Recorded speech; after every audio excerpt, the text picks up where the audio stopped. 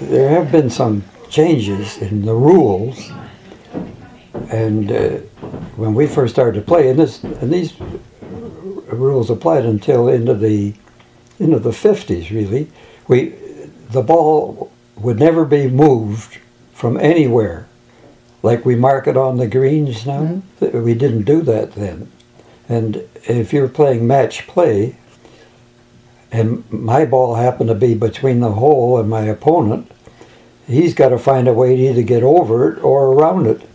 This is called stymies.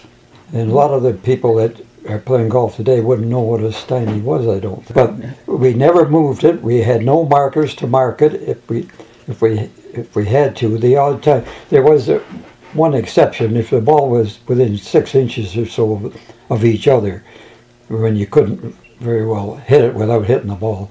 They, they would allow you to move to to mark it, but we had no markers or anything, so we'd have to uh, it'd have to be approximate when you Oh, put right. it back.